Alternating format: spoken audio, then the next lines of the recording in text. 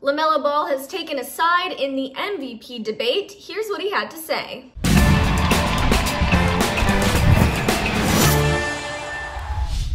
Guys, it's Devin Howard. If you're not following me on Instagram, you should do that now. I'm there as at Devin Howard. Subscribe to The Fumble, tap the bell for notifications, and give this video a thumbs up.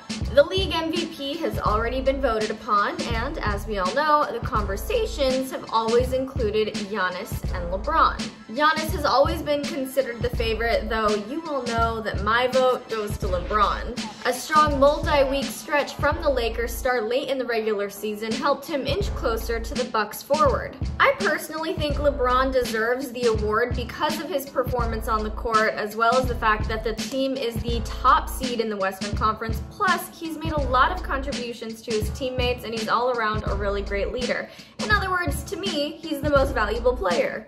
A lot of people don't feel that any of that or his stretch of strong play was enough to make him a true contender for MVP. A lot of people also want to bring in the fact that he's 35 years old and he's still playing extremely well, and while I think that's really impressive, I don't even think that needs to be considered. LeBron has just been an impressive athlete this season. LaMelo has made it known who he thinks should walk away with the award. He tweeted, Bron should get MVP, just my personal opinion. This tweet essentially puts a stop to any rumors of drama, tension, ill will between the Ball family and the Lakers star. After Lonzo was traded to the Pelicans from the Lakers, there were hints of negativity between the famous family and LeBron. We know LeBron had a hand in getting AD from New Orleans to Los Angeles, and the cost of that obviously included Lonzo.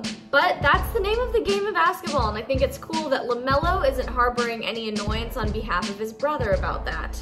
Award results will be announced during the playoffs this season, as opposed to previous seasons when the announcements were made during an award show following the conclusion of the playoffs. Who do you think is winning MVP? Do you think LeBron stands a chance? Let me know in the comments below. Don't forget to subscribe and tap the bell. I'm Devin Howard for The Fumble, and I'll see you later.